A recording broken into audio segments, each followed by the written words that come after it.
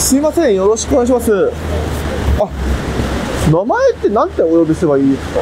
岡田紗恵子です。あ、岡田さん、さ、さやこさん。あ、そうか、さそうですね。約3年前ぐらいに取材させて、当時岡田沙織さんで、今はご結婚されて小杉沙織さんになってるんですね。あ、私途中で養子の娘をもらったっていうお話を聞いて、もらった理由とか、あの背景とか、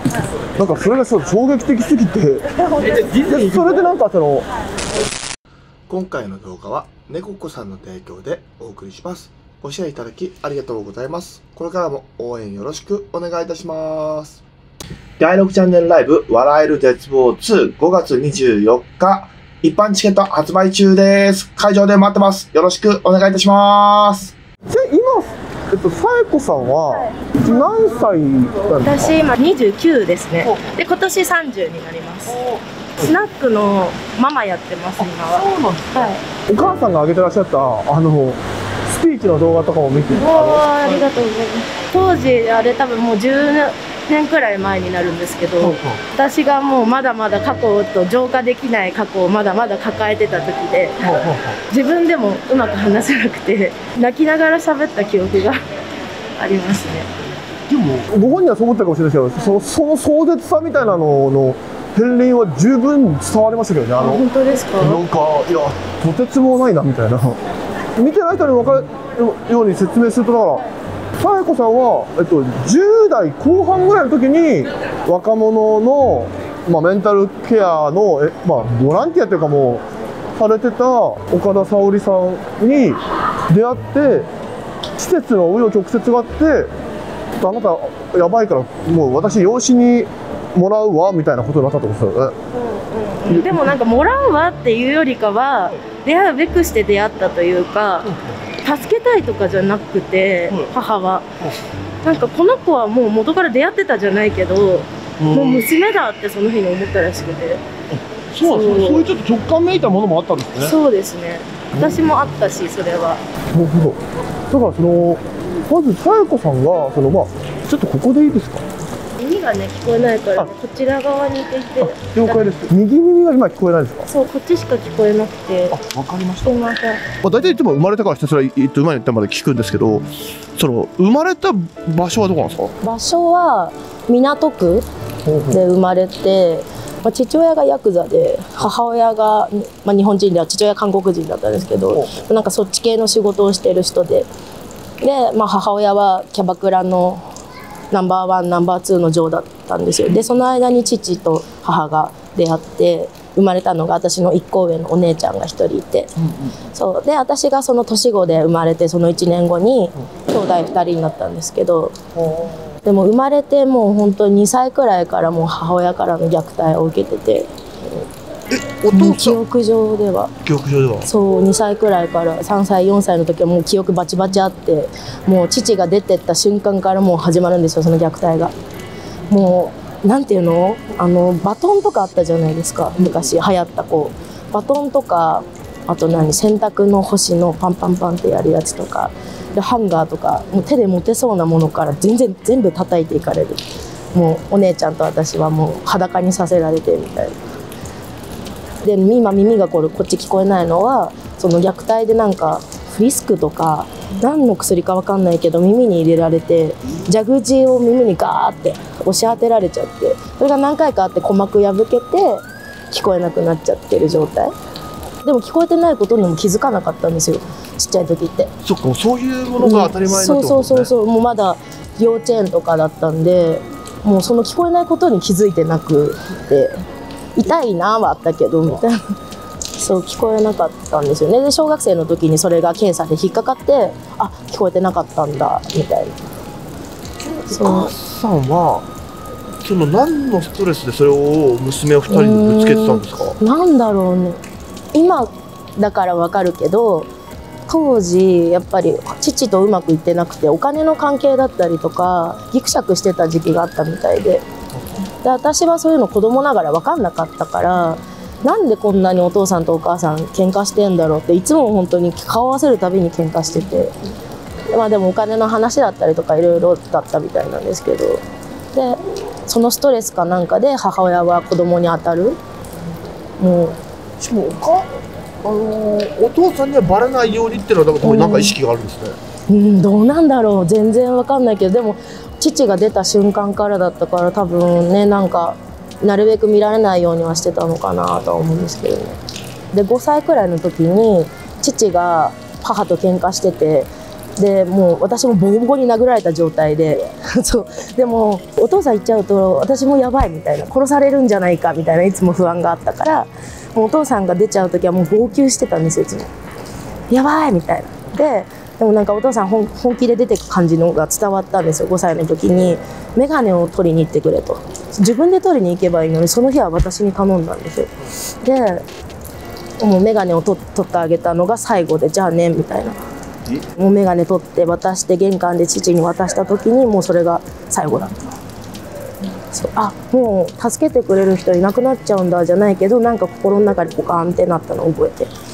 お父さんじゃ優しかった記憶なんですねえすごい優しかったと思う子供には。なんかもう背高い人でなんかもうよく遊んでくれた記憶はあるんですよね子供ながら。でいなくなっちゃったら、ん。母一人娘二人三人ぐらい3人暮らしになってでそれとともにあの引っ越したんですよ。もうお台場に入れなくなるよねってなってで実家おばあちゃん家が武蔵小山にあるんですけどそうおばあちゃん家の近くに生活保護を受けながら一緒に生活するみたいな形になったんですよね。一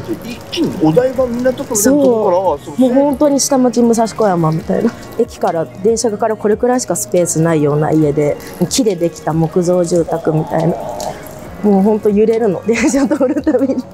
そんなところに急に住みましたね。ゴキブリ出てびっくりしたみたいな、ででしかもそのお母さんうのん、虐待ない時間がなくなっちゃったそうもうそっからもう母の暴力がどんどんヒートアップしてってクローゼットの中に閉じ込められてでもちっちゃいからもうどうやって出るかわからなくてその中で一日中真夏で過ごしてもう暑い汗だくでもうおしっこも漏れちゃうしうわーみたいな。もう体中ひどい状態？でもうボコボコでみたいな時にもうお母さんがこれやばいなと思ったんでしょうねもう本当に。救急車呼ぶ。ってその場で。でじゃあ呼んでよって私ももう号泣しながらさあの頼んだんですけどでも結局救急車呼んだら自分が虐待してるのバレちゃうし多分当時から母は薬物をやってたんですよね。そうだから警察を本当に怖がってて。もう本当にあのでおばあちゃんが来た時に助けてもらうみたいな何回もあって。おばあちゃんはどれぐらい理解してるんですかその状況を？でも全部理解してたと思うけどなんだろうな子供だったから当時虐待っていう言葉は私も知らなかったし殴られてたりとか薬漬けにされてるっていうのも普通だと思ってたから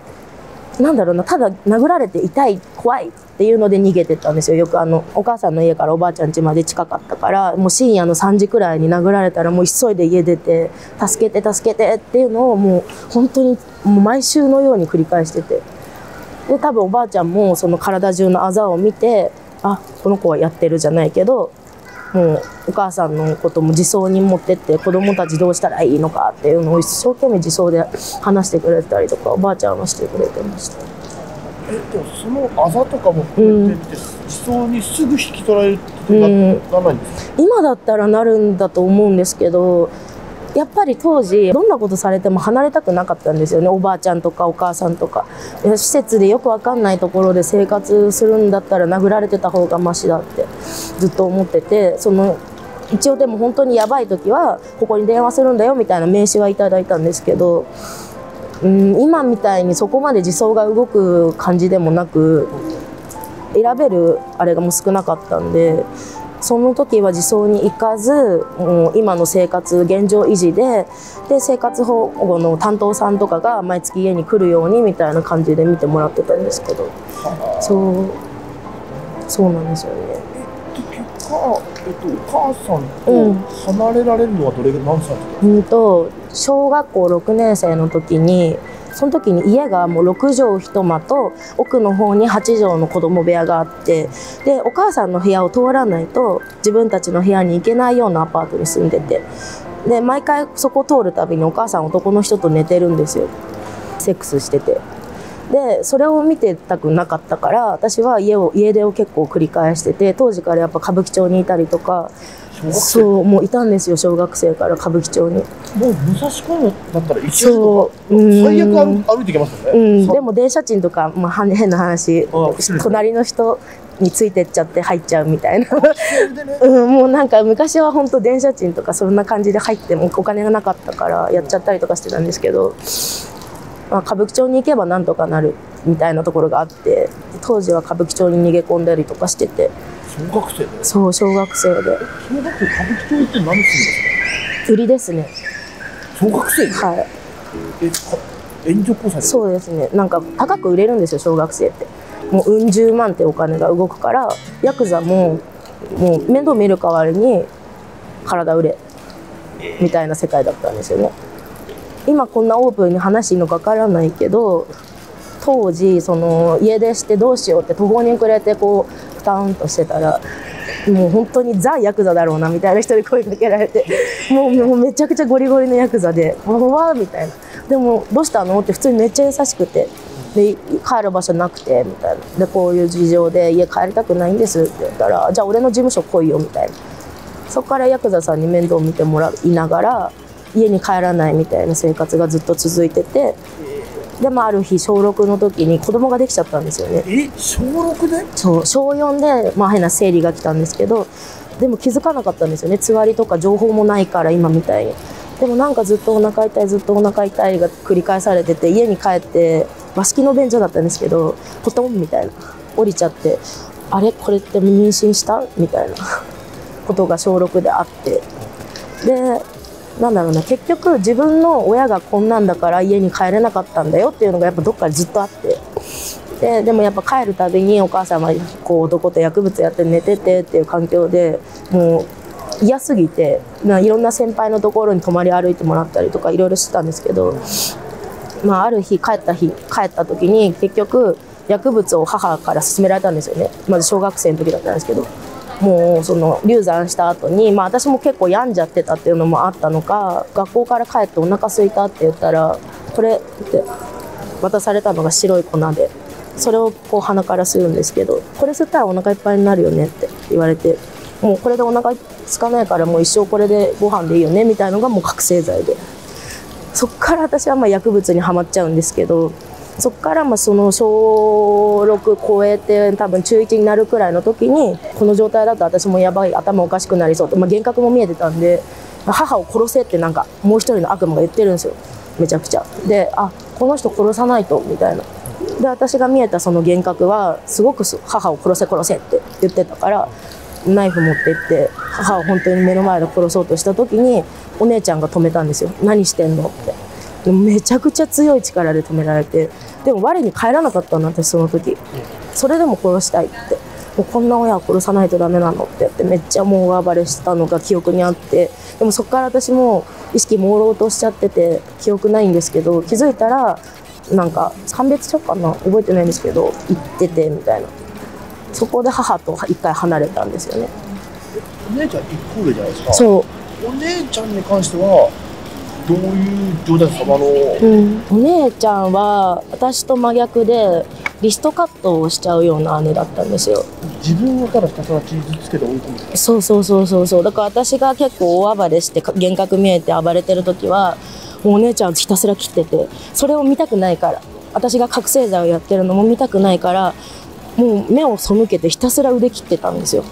お姉ちゃんやらんに覚醒剤？うん、覚醒剤多分分かってたんでしょうね姉は。それがやばいものって。私が大発狂して幻覚見てお母さんも毎日セックスしてるの見てたからこれはやばいものだって。どういう意味かは分からないけど多分姉なりに分かってたとは思います。この時おばあちゃん。うん。そのそれぐらいの時もおばあちゃんは多少はうん。気にかけるけど、やうん体力的にもそこから、うん、もうほんと60超えてたんでもう毎回のようには助けには来れなくなったしもうお母さんもおばあちゃんのことすごい嫌っちゃってたからもう疎遠じゃないけどもうあんたどうしようもないわねみたいな感じで見られちゃっててお母さんが。うん。で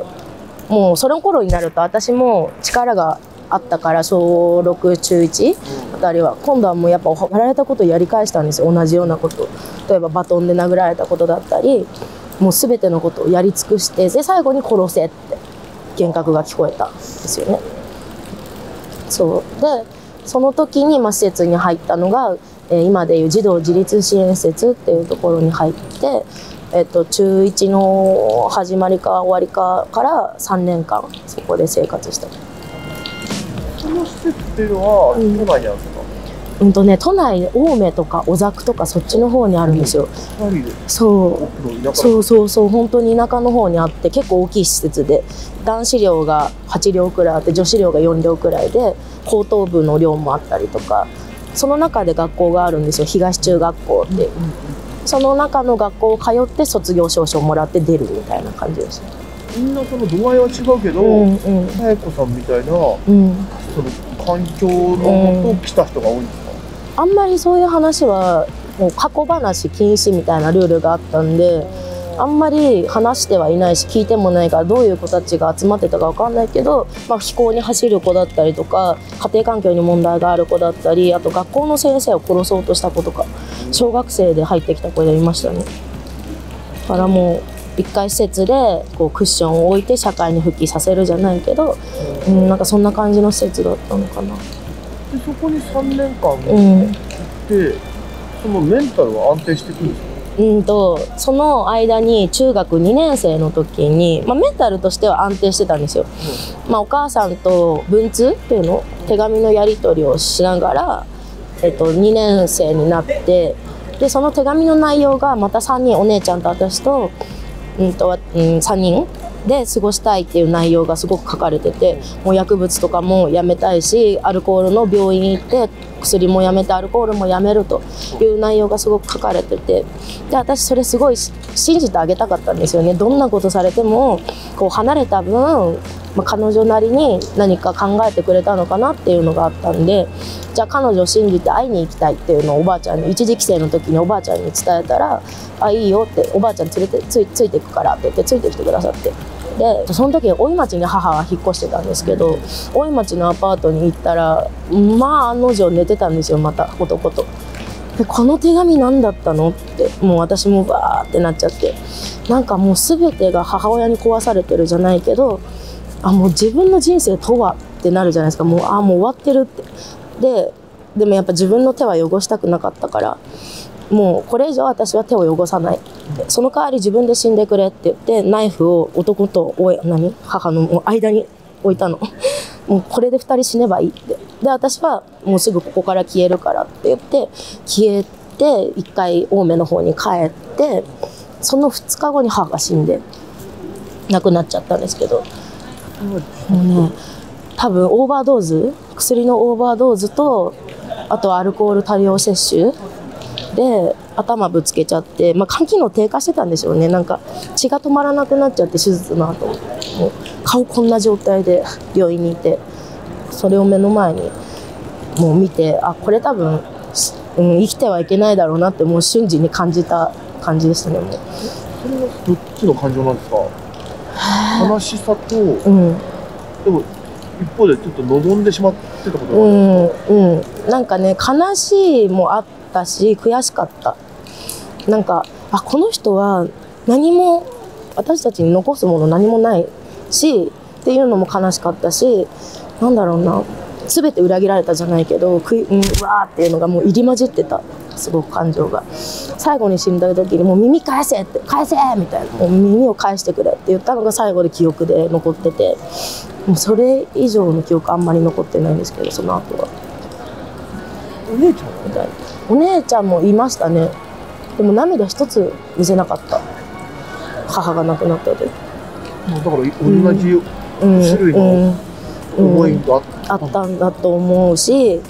うん、私みたいにこう外に発散するタイプじゃないからもう心の中が多分ぐちゃぐちゃになってたと思います当時。ね。今その話でもあんま記憶ないって言われちゃうんですけど、うん、ちなみにお姉さんも別の施設かなんかで預けられたんですか姉ちゃんは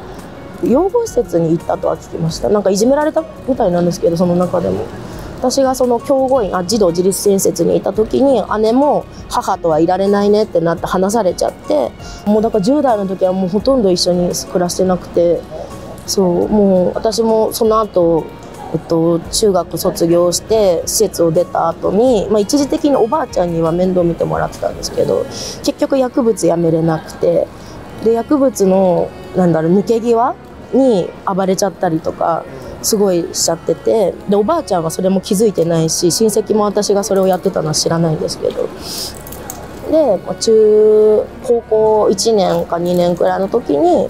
まあ、傷害事件を起こしたんですよね。まあ、あんまり詳しくはちょっとあの被害者さんもいるんであんまり言えないんですけどもう当時頭私本当におかしくていいよじゃあ殺しちゃえばいいし埋めちゃえばいいよみたいな感じでもうボコボコにしちゃってて本当に感情が無だったんですよねその時。もう。ちょっともうやんちゃだし、ん。それがチームみたいなの入ってるんですかなんかねチームっていうチームでもないんですけど、まあ、ヤンキーが集まっちゃってる、まあ、チームみたいになってた場所があってでそれで核として動いちゃってじゃあその中でも中心人うん物で、うん。じゃあその、まあ、いざこざがあった時に、敵をうん。かなり過激な方法でうん。報復するみたいなうん、ことをそうそうそう。そんなことがあって今だったらいやそんなの許してやれよっていうような内容だけど当時はなんかもう頭おかしかったからもうボコボコになっちゃって彼女も。女の子だったんですけどでその事件がきっかけで私が薬物を回し歩いてたのがバレたりとか、まあ、詐欺やってたりことがバレたり歌舞伎町でいろいろやってたことが全部出ちゃって。そう。中国で出てからまた歌舞伎町もあってその、うん。まあ、ヤクザの人も知り合いもうんいるし、うん、そうそうそう。ほぼもう家に帰らない時はもう歌舞伎町にほぼいて、まあ、自分が買収斡旋した方にやっちゃったりとかいろんなことをしてしまってて、中学卒業したぐらいの10代の人がやるうんうん。詐欺って何やるんですか、うん、私はそのヤーさんがやってたで免許証の偽造免許を作ったりとか、でも本当にヤクザのはその下っ端の人のしのぎをい、そうそうそうそうそうそう。10代の年だよそうそう。今じゃ考えられないですよね。うん少年ヤクザとかよく言葉で言うじゃないですか、うんうんうん。少女ヤクザとかうんね、うん言ったらまあうんうん高青にはなってないけど、う。ん、全然未成年だし女だからそんなのはないけどなんかもうその人が個人でかくまってたじゃないけど一応組長さんとも挨拶はしてたけどもう俺の下にいろみたいな、もう洗脳されまくってましたそのヤーさんにとにかく、まあ、うん。優しくもあるんだけど、うん、やっぱビジネスなお金も絡んでる愛じゃないなとは当時からやっぱ気づいてたしもう売り物だよねって。利用されてるそうそうそうそうそう。だけど帰るとこないからここにいるしかないなっていうのはずっとあってみたいな。おお金も入るしっていう気うんうんうんそうですね。300万くらい毎月もらってた。それだけいろいろやっちゃってたっていうのもあるんですけどね。綺麗なお金ではない。それがまあいろいろバレてそれってもう、うん。いきなり捕まったらすぐ少年院に出てるうん、なんか前科がやっぱいろいろあったっていうのもあってその後はすぐ留置所行ってから鑑別所かなどっちか忘れちゃったけどどっちか行ってその後もすぐ少年院送致が決まって中高校2年か1年くらいの時から少年院。高校は中学生の時に受験してその施設出るタイミングで受験完了し高校は一応六本木高校行ったんですよ倍率は確かにめっちゃ 7. 点何倍とか高かったけどあの勉強というよりなんか面接と作文でなんか入れるような感じだったんですよ総合学科なんですけどめっちゃ書くのは身についちゃってたから昔からあの作文反省文とか書かされてたりとか。そう施設で結構されてたからなんか文才はめちゃくちゃあって。だからその試験の方法とめちゃめちゃマッチしたんですそうそうそうそうそうそう。そうどうやってやったかっていうと、まあ、内心は剣道部に入って取ったんですよ。へなんかあの、まあ、女部大賞じゃないけどそういうのもこなして内心を上げたんですよね中学の時に、まあ、施設の中だから学校行かざるを得なかったんでそもそも。そっか教護員ねそうそうそうそう。学校にう行ってるの、ん、うん、そう。もう朝起きるのも集団生活でみんな学校行って帰ってくるまでがもうその中での仕事だったからもう嫌でも学校行かなきゃいけなくてみたいな。内心はちゃんと持ってたんですよね。うん。でそう。だってまあバイオス科学に入ったけど、だっていないでしょ六本木高校の女子で、うんうん。そのヤクザと繋がってて、うん。いやいないと月思う。300稼ぐみたいな、うん、いないと思うし話も合わなかったし友達っていう友達できなかったですね。高校では。そうで。すね。土地がそんなおかしくいい方向うにん。なってもおかしくないような場所になりますけど、うんうんうん一方で人気校だから、うん。うんうんそんな極端なそう。意外とちゃんとみんな清楚な JK だったし、みなんかギャル私みたいななんかヤンキーみたいなギャルはいなかったですね少年な何年ぐらいだ少年院は私は2年ちょっとかな結構？長いです。うん、大体長期で10ヶ月なんですけど、それも超えて超えて超えてでしたね、私は。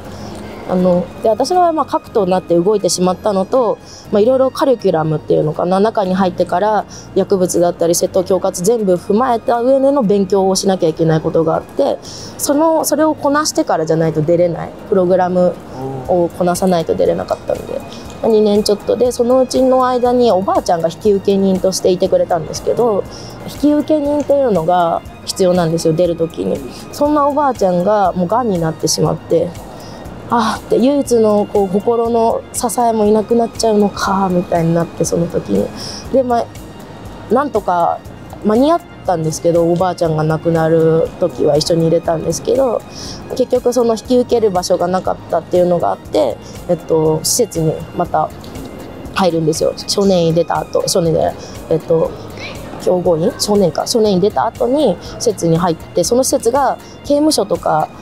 入った人で身寄りがなくてお金もなくてそこで一回預かるよみたいな場所があったんですよ。でそこでお金貯めて出てってみたいな。で自立支援のワンクッションを置くような施設に入ったんですけどそこでもやっぱ私発狂しちゃって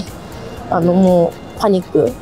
それはもう覚醒剤の近代衝動、そう。ぬやっぱやめれなかったから常に吸引したりとか粘膜に全部入れてたんですよ。鼻とか耳とか、まあ、変な下の穴だったり。うん全部に粘膜に入れててだけど効いてるうちはいいんですけど結局な亡くなる時はすごく幻覚見えちゃったりとかして幻覚見えると多分自殺しようとするみたいで私。でまあ、自分で刺そうとしたりとかもう壁刺したりとかすごかったらしくてもう記憶ないんですけどでそこでまたなんかね家庭裁判所火災なのかな？覚えてないんですけど送られてでそこがまあ後から分かるんですけどこの子引き受けますって言ってくれた施設長の人が来てくれて三河島新三河島の駅にあるなんか一時保護施設みたいなところにまた送られたんですよそこから。ちなみに覚醒剤を教護院にいた時、うん三中学の3年間はやれてない、やめれてはいました。やっぱ物が届かないしそう手に入んないからやめれてたけど結局やっぱり出たら環境がは変わってないから。歌舞伎町行けばすぐうんうんうん。手に入る。しそうもうね電話すればすぐ届くしみたいな環境ではあったんで結局そこでまた手を出しちゃってみたいなもう生きてる意味がもうずっと分かんなかったんでいつ死んでもいいって思って歌舞伎町のなんかあのドン・キホーテの上にあるビル登って何回も自殺しようとしたりとかめちゃくちゃしてたんですけど結局死にきれなくて死ぬ勇気はなかったんですよねなんとなく生きてるみたいな感じが続いてて。まあ、少年院でも2年間はやめれてます？やめれてます一応。でも出た後のその自立支援みたいなところでも、うん。やっぱ手を出したくうんなっちゃったんですか、新宿めっちゃ近かったんですよその施設が。三宮橋っていうとこうんろそうに施設があって。もうすぐ新宿行ける歩いて行けるから新宿行って少年院から出てきたよって言って顔出して事務所にそこからまた結局変わらない生活じゃないけどもう徘徊しまくっちゃって外。うんでその施設に1ヶ月か2ヶ月後くらいに小杉沙織がカウンセラーとして入ってきてでまあいろいろあったんですよ。その悪徳な施設だったっていうのも後からその施設はヤクザが経営してる施設で実はその入った場所が。だから新宿にある。そうなの。いやそれは新宿じゃない。新三河島ってあの荒川区なんですけどその2回目には飛ばされた場所がヤクザが経営してる施設だったんですよ。NPO とかってことですよね、多分だけど私も詳しくはあんま分かんないけど多分 NPO みたいな感じで活動はしてて例えば本当に行く当てのない人をそこの施設に泊めるみたいな、住ま住ませるみたいな。で役付けにされちゃうんですよ。でもそこの施設行くと。それってどうやって役付けするんですか？配る私が見てたのはその私もそうだったんですけど精神科に行かされるんですねまず。で精神科で例えば寝れないとか言いなさいじゃないけどあのもう体がだるくてとか言いなさいみたいな何もしたくないって言いなさいってもう植え付けられるの。もう洗脳家のように。でそれを言って薬をもらってもらっていくんですけどその1回目より徐々に徐々に重い薬になっていくんですよ精神科の薬が。でもそんなのを毎日毎日体に入れてるもんだからみんな頭おかしくなっちゃってラリってたりとかもう結構オーバードーズなんでしょうね。もう会話成立しなくなっちゃうみたいな。今まで普通に喋ってたおじいちゃんがどんどんどんどんおかしくなっていくのを見て私もでもそのうちの一人ではあったんですよ。結局薬物やめれない。もうオーバードーズしちゃうみたいなの私もあったんで当時。そっちの薬物はシャブなの？私は本物でしたね。え？あの覚醒剤とか、まあ、マリファナとかもうコカインとか。それ医者が同じくらいや医者じゃない。私はもう新宿からそっちが流れてくるから自分そう自分でやったものにか関して、まあ、結局なんだろうな抜け際暴れちゃうからじゃあデパスとかいろいろなんだろうな精神科の薬を投与されるんですよ、それが暴れないようにみたいな、でどんどんどんどん重い薬を投与されて自分の中で判断できなくなっちゃうようなくらいまで持っていかされるんですよ。洗脳もそうだし。自由には私の中でさせてはもらってたけどそのねある日耳がこっち聞こえないじゃないですか。で聞こえないから障害者手帳を取りましょうって言われたんですでも私あんまりもう本当そういうの疎かったんでなんかやられるがままじゃないけど病院行って診断書書いて障害者手帳を作ったもんですよね。でそのタイミングでその昔元や働いてた元ヤクザのお兄さんがキッチンで働いてたんですけど食堂みたいななんかご飯作る人みたいな働いてたお兄さんがもうこれはやばいぞと。お前本当にここから出た方がいいって言ってくれて。で最初何言ってるか全然分かんなくて。えだっていろいろやってくれるじゃんみたいな感じだったんですけどもうお前のお金取ろうとしてるよって障害者年金何百万か入るじゃんってそれ全部持っていかれると思うよって言われたの。その時に。だあそういうところなんだって。でや腹の蓋開けたらヤクザがやってました。みたいな名古屋の。もうみんな役付けにされて生活保護を受けさせられて結局仕事できないですっていう体にして生活保護を受けてその生活保護のお金全部持ってっちゃうみたいな。もう全部管理されちゃうんですよ。だからそれはヤクザと医者がタうん。ッグを組んでそうそうそううそうそうそうそう。そういうビジネスですようねんうん何番かお金渡してるのか何なのかは全然わかんないけど。何人ぐらいいらっしゃったんですか？そこに。うん病院の担当の先生は一人でした。誰みんな一緒の担当の先生。でその騙されてる側？騙されてる側は多分男の人8人9人10人くらいいたかな。女の子私一人だったんですよ。でその11人ぐらいうのん。生活保護士だったり、うん。障害者年金を搾取する。搾取してましたね当時。で私も通帳を渡さ渡せって言われててうん。当時のその担当さんに通帳貸してみたいな。うん。で管理されてたんですよ。でも、まあ、当時私稼いでたから別に通帳の生活保護のお金は別にいいやみたいな。勝手にどうぞみたいな感じだったから使われてたんだろうけどあんま気づいてない。かった稼いでたってのはそれはあれですか、うん。世代とか、まあそうですね。うんうんうんうんうんうん。しかもそれって本当はおかしいですよね。稼いでるのに生活保護うもらっちゃってる、んうんそうでそれやばいよねみたいになってすぐ止めるんですけどその時に、まあ、さ岡田小杉沙織とつながってすぐもう一緒に住むようになってからはその生活保護やめようって言って一緒にやめに行ったんですけどそう本当全然知識もなくて。生活保護ビジネスみたいなののそう。食い物にされてるっていうのを見かねてってことなんですか、その一緒見かねてっていうか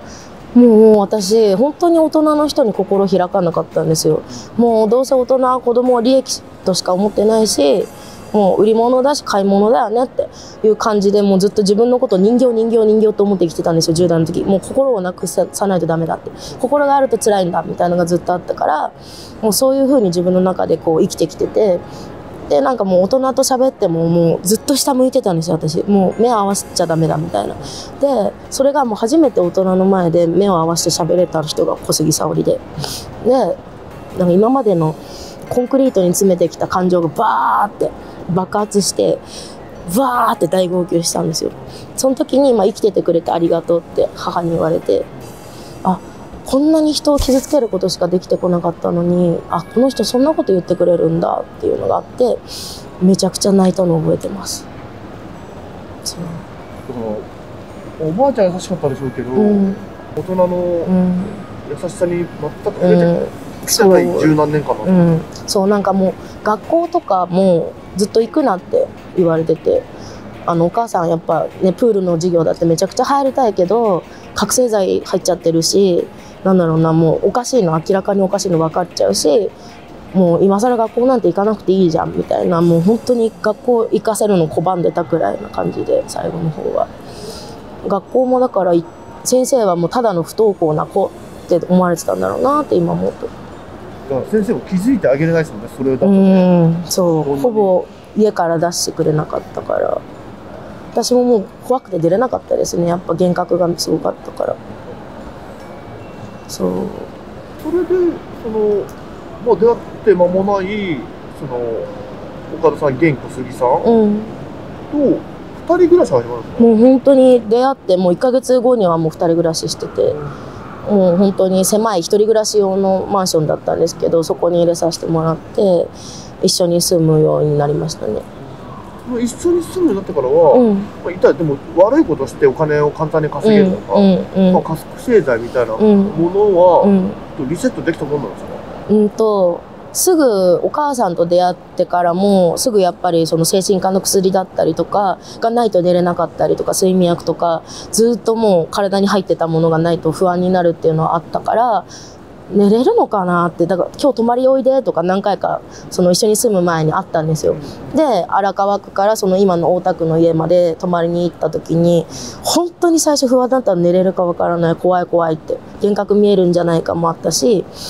っていうのがあったんですけどお母さんの隣に寝たらスーって寝れてなんか多分安心したんでしょうねなんか誰かがこういてくれる殴られないみたいな。でそこから不安が消えて寝れるようになってすぐに薬はやめれたんですけどただ覚醒剤とかそのドラッグになるものはやっぱすぐにはやめれなくて、うん、途中で迷子になりながら脱法ハーブに逃げたり、まあ、マリファナに逃げたりいろんな薬をに手を出してたんですけどのママは止めなかったんですよねあの私がそういうドラッグをやってることを見ても。でそれは何でなの？って聞いた時にやってたら確かに悲しいしってだけど止めてもやるよねみたいな。で、ね、今までこう大人たちにこう桶の中でしかこうルールがあるところでしか生活しちゃいけないよって言われて生きてきたからあこの人って縛らないんだじゃないけどでもちゃんと愛してくれてるっていうのも分かってやめろって言われなかったからこそやめれたというかなんだろうなあこの人悲しませちゃいけないやっていう感情がすごく強くなってでもすぐに薬もやめれたんですよねドラッグとかも。ダルクの人にも「どうやってやめたんですか?」とか結構聞かれるんですけどなんだろうなこの人そばにいてくれるって分かったところで変われたというか裏切っちゃいけないが強かったんですよね私の場合。無償の愛を裏切っちゃいけないう、そうそうそうすっごい純粋な魂で来るんですよあの人もう本当荒れてた心の中でもパッて光ったというか裏切れないなって。そうそうそう。今でも思い出すと泣いちゃうくらい。あいや本当よく一緒にいてくれたなって思いますね。そう。そこから出してなかったらうんいまだに多分ずっと、ループですうん、詐欺もそうだしなんならそこでその施設の人と仕事させられてたんだろうなと思いますね。あそこうん二十歳超えたら。うんヤクザのつながりもあったし、うんうんうん。なんかその闇のおお金の流うん、れとか、なんそうそうなんかあったんだろうなって。が本当に普通に戻れるってなかったと思うしそこに本当に行っちゃってたら。本当タイミングよく小杉沙織が入ってきてポンと。本当ママと出会えなかったらもう本当今ここにいないです。それじゃあそっか。それがじゃあ二十歳になる前に一応そういうことから、うん。こうそ卒業できたというか、うん足を洗えたんですね、洗いましたね正式にじゃあその戸籍上も親子になったのは、うんうん。な何歳ぐらいの時ですか？1819のの前くらいだったと思いますね。うん。それはそうですね。からはどんな、えっとん。人生を歩んでですか？19から一緒に母と住み出して、まあ、大田区で暮らして風俗だったり薬物の売人だったりとかそういうのからも足を洗ったんでもう、まあ、キャバクラで働いたりとか当時しながらお母さんと一緒に住んでたんですけどで25くらいの時に居酒屋で働いてたんですよ、けどその、うん、と今のママの元旦那さんがスナックを持ってたんですよね、でここでやんないかって声がかかってそこでお店としお店のママとして立つようになって今に至ってるんですけど。とねその間にまあ岡田沙織、まあ、ママが、まあ、NPO を立ち上げたのが私が二十歳くらいの時かな多分でその時に、まあ、いろんな過去の浄化を自分の中でもしながらこういうことが10代の中で起きてて子どもの貧困ってあるんだよっていうのを大人の人に初めて伝えたんですよねその時に。そっからまあちょいちょいその活動報告としてああやってスピーチをさせてもらったりとかしながら、まあ、母のラジオにたまに出たりとか必要な時に出るねっていう感じで NPO の方はやってるんですけど。そう。でもねあの人は本当すごい人だと思いますよ。あの魂は本当すごいと思います。無償でやってたんですか、うん。本当にそう。全部今でも無償でやってるしもうただただ子供たちを笑顔にしたい。一心で動いてる人なんで、うん、いろいろね叩かれたりとかねするけどその分本本質というかうちの NPO のこともちゃんと分かってくれてるフォロワーさんとかも多くてなんかもうコメント見てありがたいなと思ってます。養子になるっていうのは、うんあの意外とこう手続きで結構すんなり、もう意外とすんなりもうあのただ自分の戸籍からやっぱねお姉ちゃんと一緒にいた戸籍から抜けて、うん、と当時の岡田沙織の戸籍に入ったから結局後からお姉ちゃんには実のお姉ちゃんには報告したんですけど。その報告できなかったんですよね養子になるってなった時に今まですごくね辛い経験を姉もしてきてなんだろうな自分だけ幸せになっちゃいけないんじゃないかってめっちゃ思って、うん、ママっていう発言をするのもなんかダメな気がしててずっとだから最近ママと出会ってとは言ったけど後からめっちゃ後悔しちゃって彼女は言わないし表情にも出さないけどなんか寂しいかもみたいなのを感じちゃってなんかね今でもその表情を覚えてるんですけど。ああもうなんとも言えない顔なんですそうなんかもう思い出しちゃお姉ちゃんもすごい そのうそうね。ごめんなさいなんかねずっといたけど言えなかったことがいっぱいあって。なんだろうな。私と喧嘩するたびに姉は切ってたから腕を。でやっぱりどっかで認めてもらいたいとは思ってたけど認めてもらえない自分でもあったからなんだろうな。ずっと壁があったんですよ姉に対しては。でその養子縁組組む時も言えなくて最後まで。で最近なんですけどなんとなく今の私の現状を見てあの今のママのことも受け入れてくれたようなことは言ってたからあなんかやっと心の中の和解ができたなんじゃないけどあったんですよね最近。めっちゃ最近です。なんか母のバースデーの日に呼んだんですよ姉をなかなかその教会のメンバーだったりとかなんだろうないろんな来客者が来てたからアウェーだアウェーかもしんないけどちょっと来てほしいんだよねって言って呼んだ時にすんなり結構いいよって言って来てくれて。その時に、まあ、姉がそのママがたくさんの人に愛されてるのを見て泣いてたんですよね裏。なんかあ認めてくれたんだってその時に思って。でやっぱママっていう人間を分かってくれてたっていうのも多分大きいと思うんですけどめちゃくちゃあ今の才があるのはこの人がいたからなんだねって言ってくれてまあ姉もなんか納得してくれたんじゃないかなと思ってるんですけど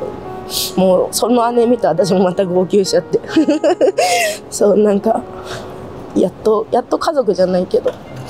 お姉ちゃんだなって思えたというか。年子ですもんうね、ん。そう。でもお姉ちゃんともう離れてからは、うん。まあ、ももちろんあの今あ土地あったりとかしてるんうですけど、んうんうん。20年近くってことですよね。そうもう本当にで10代の時は本当に心の会話が全くできなかったから本当二十歳超えてその養子になったっていうのも報告した上でのまあ、毎月会うようにはしてるんですよ姉に、うん、やっぱり姉の報告も聞きたいしいろんな話聞きたいし今やっと兄弟してるって感じですね。お、ね、実のお姉ちゃんとは。もう今までそういう会話ができなかったから毎月会ってご飯して。まあ、あんまりねお姉さんのプライベートなこと聞くのはあれなんですけど、うんうん。そのお姉さんはその一応その健康に生きれてるんですか？うん多分なんかまあいろいろあそこが痛いここが痛いは言ってるけどお姉ちゃんは薬とかはそんなにやってなかったんで。ただ生まれた時から心臓が悪くてで2歳の時にまあ14時間に及ぶ手術をしたんですよ。あの心臓の形がおかしかったのかな。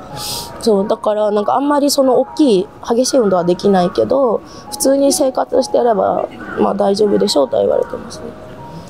今はもうめちゃくちゃ2人とも私もそうだけどもう薬を体から私も抜いたしめっちゃ健康です。おばあさんはさうんちなみに少年院の時はもうがんだったっていうかどっかそう国立がんセンターっていうところに入院しててで少年院出てすぐ会いに行ったんですけどもう痩せ細っちゃっててなんだろう思ってたおばあちゃんと全然違うのにショックは受けたんですけどでもねやっぱりギリギリまではそばにいたいなとは思ってたんですけど最後やっぱり耐えられなくていろんなとこ転院しちゃって亡くなっちゃったんですけど。そう。でも本当に姉妹2人になってみたいな感じでしたね。お父さんはどうなったんですか？お父さんはと新宿の組員さんにも探してもらったんですけどで場所が千葉にあったんですよ。マンションここかもみたいな。だけどもう違う人がもう住んでてで今もうどうなってるか分かんないけど殺されたとは言われてる。組の中で。けじめを取らなきゃいけないことがあったとは聞いた。から多分死んじゃったんだろうなって。すごく身長高くて入れ墨入っててなんかいろいろカオスだったなと思うけど。でもすごい優しいお父さんの印象は今でも消えてないしお母さんも本当にひどいことされてきたけど今自分が大人になってから気づいたこともいっぱいあってやっぱ辛かったしお母さんもきっと。自信なかったよね2人を育てるって。心配だったよねみたいな。今思うからもう全然母のことも憎んでないし恨みとかも全部今捨てて生きてます。たけれたけれたけれ心は殺すことはある今後はどういうふうに生きていきたいとか、うん。あのまあスナックをねもちろん継続してやりながらだったそうですね。なんかあるんですか？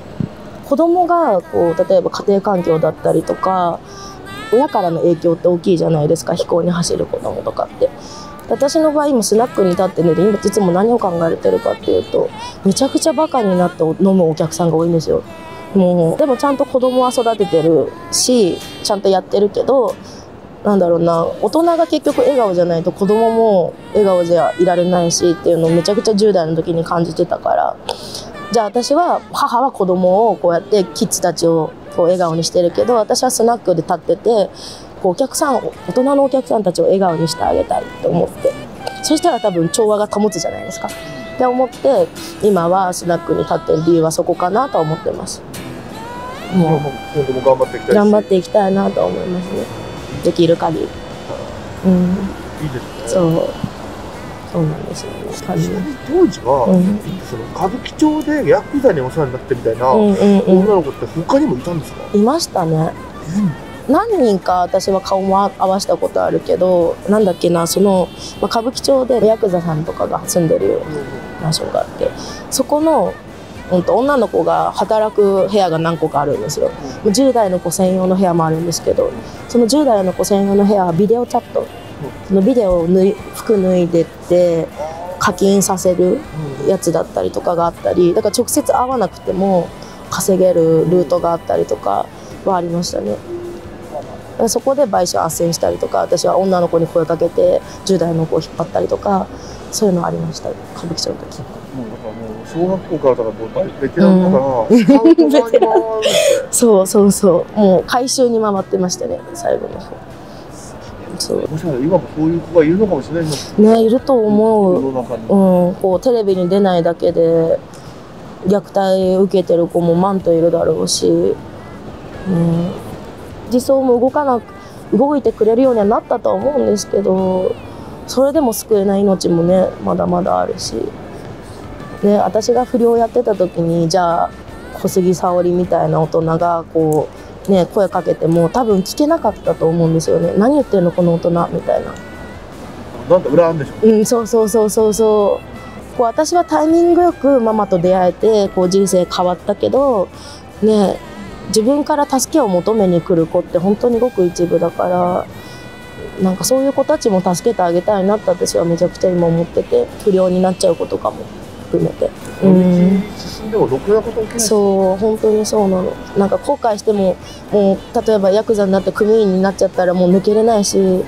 うその前に話そうよって思う。会おうよ一回じゃないけど思う子がいっぱいいますね。辛い経験したまま大人になっちゃって大人になってからもこう浄化できてないものを抱えてたりとかするとまだ問題起きちゃったりとかするし。うん難しい。まあそういうのもうんまあママと二人でうん支えていけたらなっていう思いもあると思うそうですね。ありがとうございました。ごちそうさまです。あり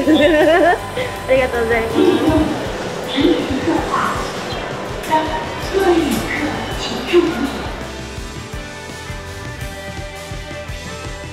第6チャンネルライブ「笑える絶望25月24日一般チケット発売中です。会場で待ってます。よろしくお願いいたします。そして月額1000円のオンラインサロンのメンバーさんも募集しております。こちらもご入会よろしくお願いします。